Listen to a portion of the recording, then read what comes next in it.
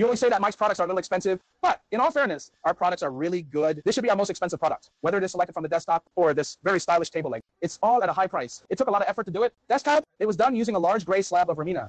What about this stone slab? How can we distinguish the quality of Laminam from the quality of domestic products? In fact, the focus point is its authenticity, its clarity. Its clarity. Take a look at this big white flower. Its overall texture transition is very soft and natural, where white is white. Then there are lines. The modeled feeling of this stone pattern is vividly reflected.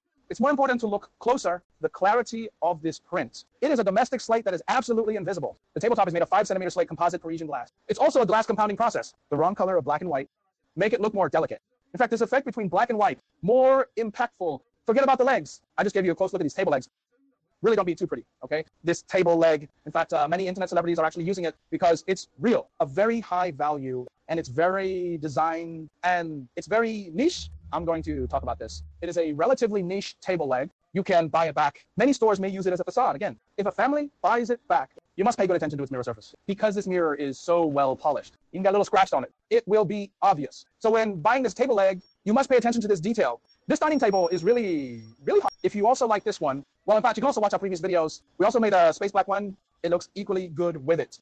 I even think Space Black should go with this table leg. It is a more beautiful existence. Well, if you are interested in our products, if you are interested in these videos of Mike, you can give me a like and a follow. Thank you very much.